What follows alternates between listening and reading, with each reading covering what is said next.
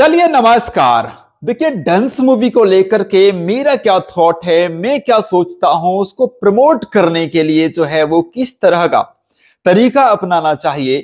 Director producer या फिर actor को ये मेरे मन में कुछ चल रहा है जो मुझे लग रहा है कि यहाँ पर वीडियो के माध्यम से मुझे कह देना चाहिए। क्या पता उसका कुछ असर हो जाए और प्रोड्यूसर साहब या फिर डायरेक्टर साहब कुछ वो तरीका अपना लें। जैसे कि मैंने देखा है बॉलीवुड वाले क्या करते हैं? फ़िल्म को जब रिलीज़ करते हैं तो बढ़िया वाला भाई साहब एक ग्रैंड इवेंट रखते हैं, एक बढ़िया वाला जो है वो प्रीमियर मूवी प्रीमियर करते हैं, बड़ा सा कोई एकदम बढ़िया वाला तगड़ा वाला पार्टी रखते हैं स्क्रीनिंग करते हैं सिनेमा का और वहाँ पर तमाम जो बॉलीवुड के कलाकार होते हैं बड़े बड़े दिग्गज कलाकार उन सबको इनवाइट किया जाता है। एक्टर एक्ट्रेस विलन मतलब जो उस फ़िल्म में काम नहीं किए हैं, उन सबको भी इनवाइट किया जाता है और वो सारे लोग सपोर्ट में आते हैं। मतलब दिल खोल के लोग सपोर्ट करते हैं।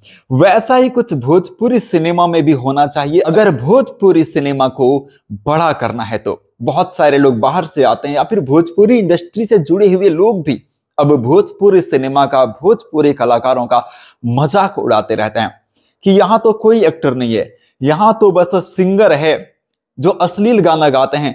एक्टर अब रहे कहाँ? भोजपुरी सिनेमा तो खत्म है, कमाई भी नहीं करती है।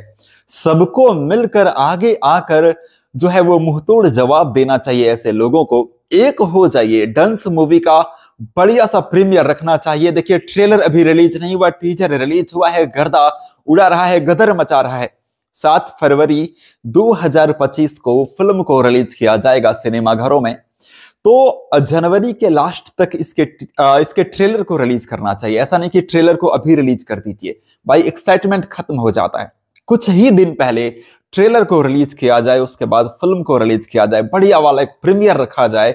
और वहाँ पर तमाम सबको जो है वो कलाकारों को, बड़े बड़े दिक्कत कलाकारों को बुलाया जाए, तगड़े तरीके से जो है वो प्रीमियर किया जाए। इस फ़िल्म को, डांस मूवी को मुंबई में करें, पटना में करें, जहाँ भी करना है। तो इस तरीके से इस फ़िल्म को प्रमोट करें और आने वाले टाइम में और जो भी फ़िल्में आएँगी भोजपुरी इंडस्ट्री में उसके लिए भी कुछ ऐसा ही इंतज़ाम हो, तभी जाकर के भोजपुरी सिनेमा को बड़ा किया जा सकता है। तो मुझे लग रहा है कि ऐसा करना चाहिए। जो ये वीडियो देख रहे हैं, क्या आप लोगों को भी लगता है कि ऐसा करना चाहिए? कमेंट बॉक्स में कमेंट करके बताइएगा। एक बस अपडेट मुझे लगा कि देना चाहिए, जो मेरे माइंड में चल रहा है।